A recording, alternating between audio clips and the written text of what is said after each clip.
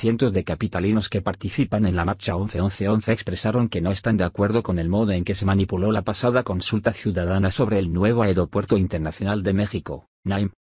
A través de un comunicado, mencionaron que no están de acuerdo a que se pretenda sustituir leyes e instituciones de la democracia por simulaciones burdas.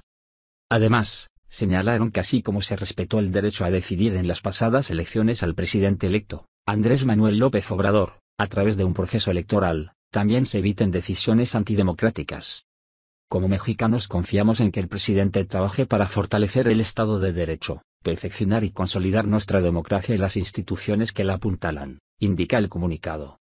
Agregaron que el hecho de que Andrés Manuel López Obrador quiera sentar el precedente de que mecanismos antidemocráticos, como la reciente consulta sobre el NAIM, se acepten como instrumentos válidos para la toma de decisiones sobre asuntos de interés nacional, es alarmante e inaceptable.